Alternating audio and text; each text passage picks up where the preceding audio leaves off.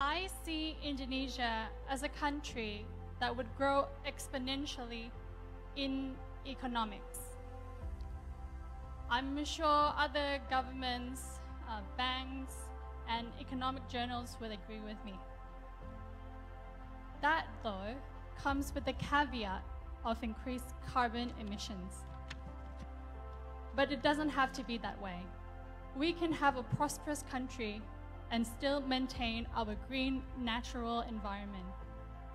How we can do that is by slowly transitioning into alternative green energy and also consult with experts to design carbon capture initiatives. And as such, we can have an Indonesia that is green and also prosperous for our next children for the future. Thank you. Thank you.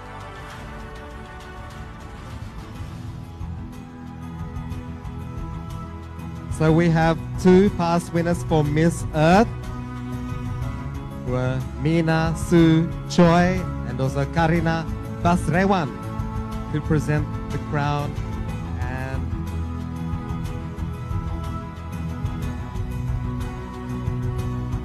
and now Mrs. Agnes Sutanto will present the bouquet to Miss Earth Indonesia 2023 Cindy Inanto.